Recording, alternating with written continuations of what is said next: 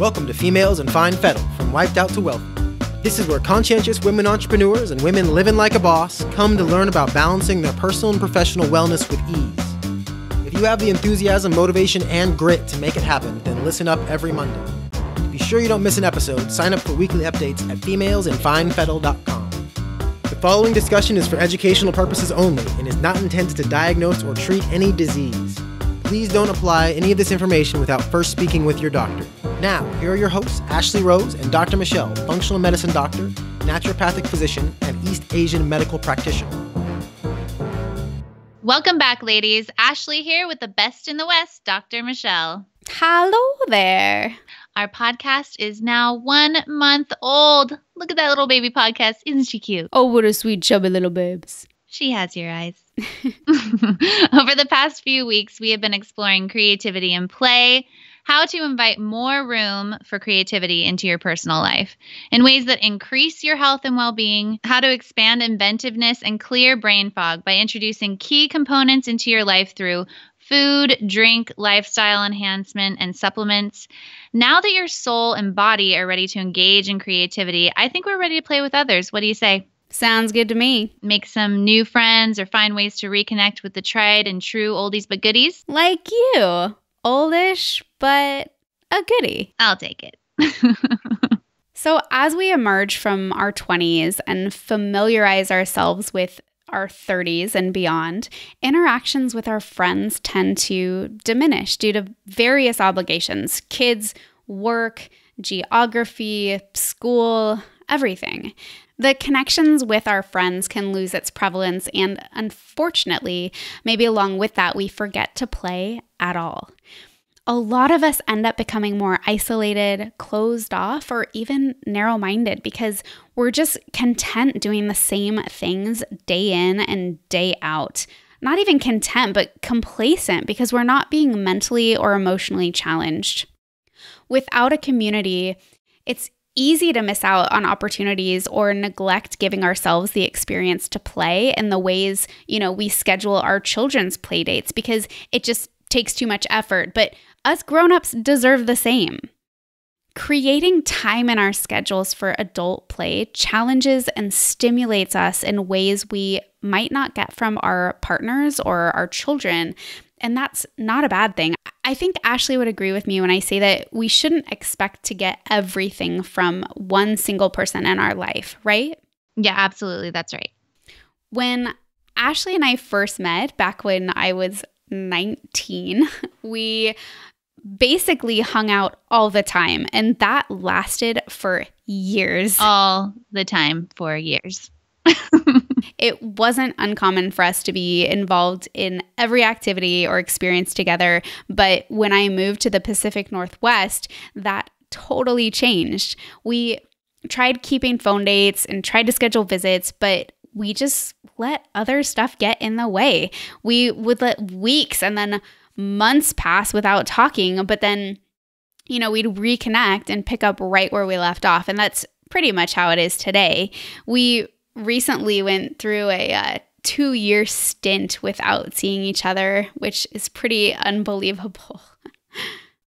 but then she came to stay with me and my partner for three weeks, and it was like we were roommates again. Super fun, super easy. Yeah, my departure just keeps getting pushed back. You love me. That experience also made me realize how much I really cherish my connection with her and how important it is to have our clam jam or taco talk on a more regular basis.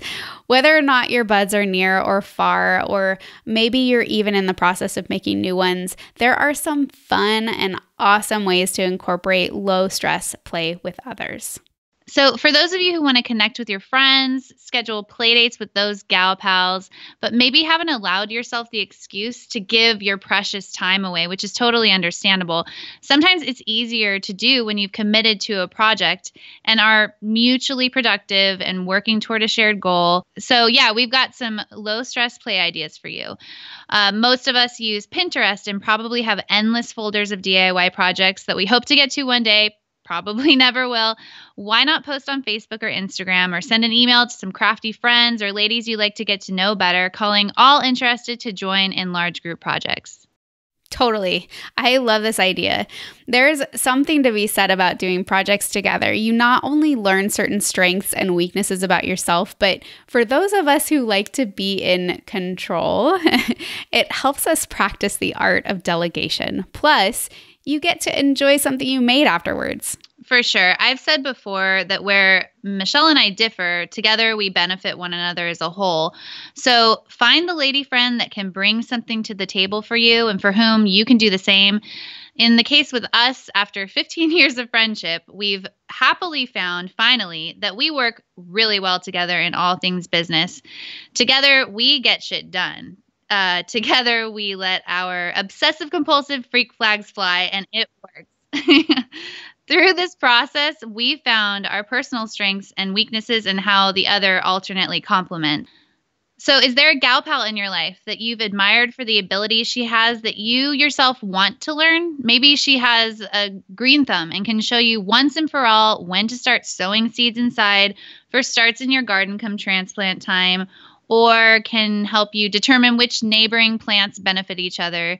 Does she play guitar and you've always wanted to learn? Have a music night and maybe some wine and cheese. a favorite of mine since moving to the farm unintentionally is to watch Michelle and her partner work their culinary magic. I tend to follow recipes to a T. I'm obsessed with the cookbook, but have always wanted to just throw that away and get to feeling more free in the kitchen.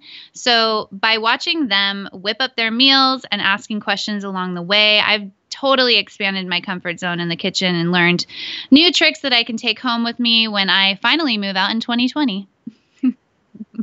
Exactly. And you can practice your mad skills by hosting potlucks.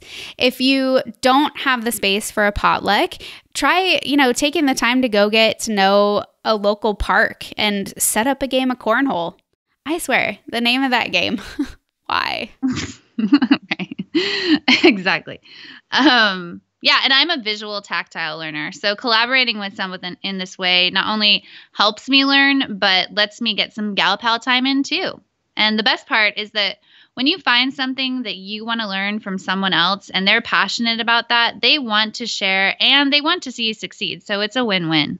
Absolutely. And for long distance friends, you can have a book or audiobook club, which I love. Also, Skype and FaceTime make it super easy to connect. So you could even have a face to face phone date while doing something like knitting or crocheting, you know, a good old stitch and bitch.